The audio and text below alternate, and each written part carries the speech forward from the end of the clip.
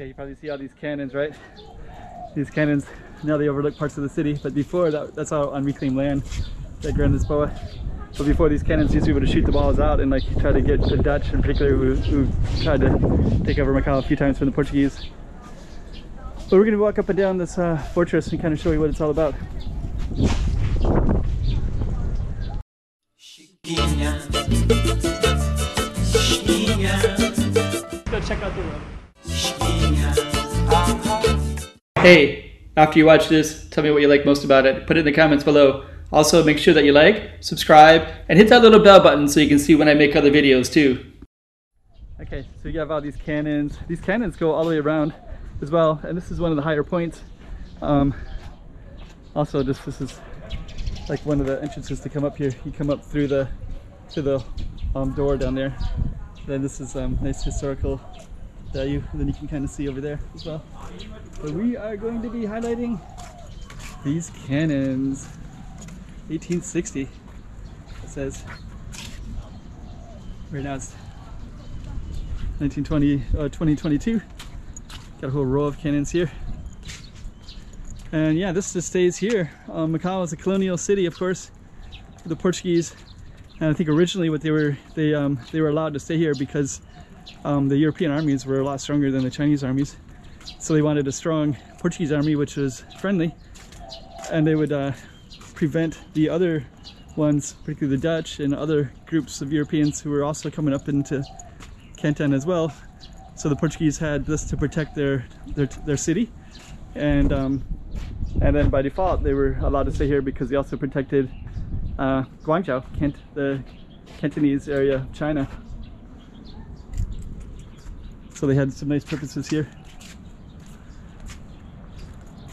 And then yeah, that that's um I guess these all say 1860s, so I guess they got these ready at that particular time. And then um, a lot of that, if you see like the Macau Tower in there and the Grand Lisboa, that's all on reclaimed land. So stuff that was originally here would have been um, not that in particular. Some stairs down that way. And we're just gonna keep on walking and kind of um, highlight. Course, this one would go down, go that way, which is kind of the river. So a lot of the boats would come um,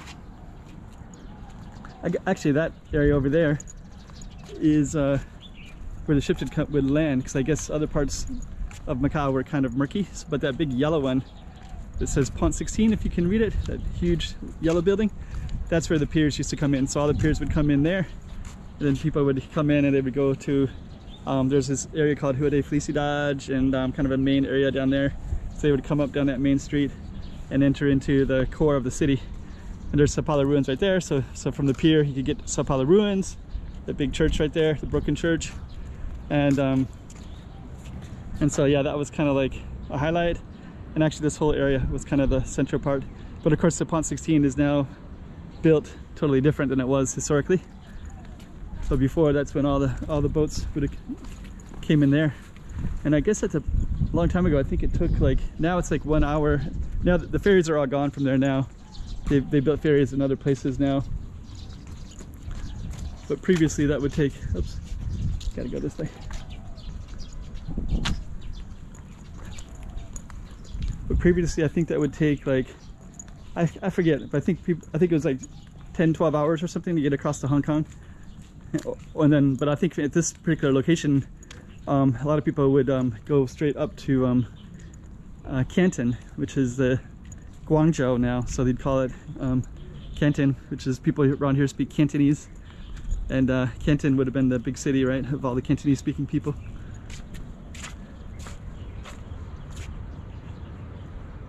So yeah, I don't know my Chinese history well enough to know.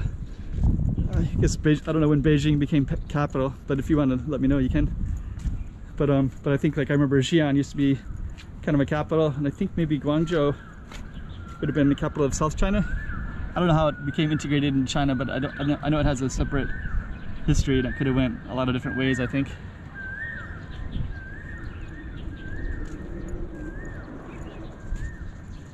Pretty cool.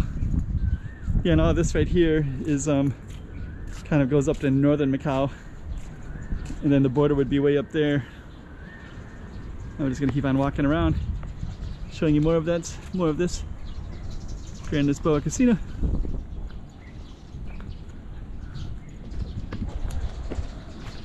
Then we're gonna keep on highlighting. Hello. Yeah, it's really nice.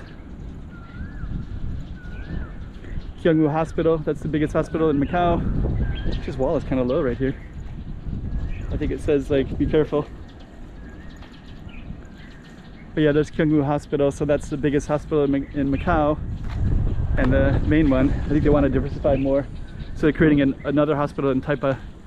Um, the hospital isn't really known, is, isn't very good basically. They basically get their doctors from Hong Kong, but now with the COVID situation, the doctors can't come over. So right now the, quality of healthcare is uh, pretty abysmal. So big problem these days. Um, over this way we have Guia Hill. You can see Guia Hill right straight that way. And then Guia Hill is, is the tallest hill. So this one that we're on, I think, is the second biggest one. I think. But that one also has some cannons on it and some and a big lighthouse. And they do all the typhoon stuff as well. So right now we're looking at northern northern Macau. Just keep on going around. And then we're going to be coming back to the other, to the original place in a minute. So there's Guia Hill. And you can see some paths down this way too.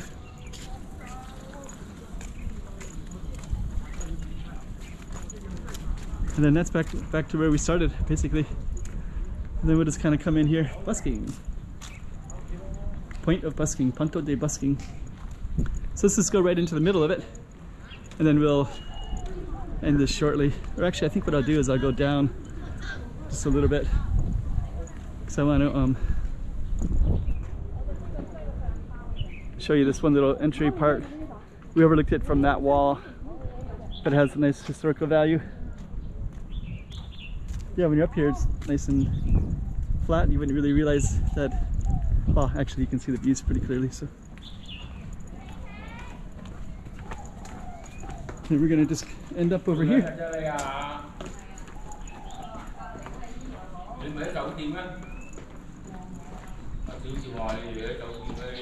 Then we have this one. This is actually kind of historical as well. Okay, okay, go, go, go, go. Okay. For you, for you, uh, I won't, I won't explain that. Maybe if people watch my view, my video often, they, they already know. All right. Then we come out here. it's called Fortaleza de Monte. That's the name of it right there. Oh yeah, I was gonna highlight that. There's lots of people out here too. That might be a separate video. Then you can come down different ways coming off of the mountain here. Grand Lisboa. Then we can take roads down into all this residential stuff everywhere. Okay. So that's our Fortaleza de Mont. Now we're just gonna come back in. Then we're gonna highlight this big red and white one right there. And that'll be the end of our video. That one right there. All right. A lot of history right here. Chiquinha, Chiquinha, Go check out the road. Oh, hey guys. Three things. Like, subscribe, make some comments below. It'll really help out my channel. All right. Chiquinha, Chiquinha,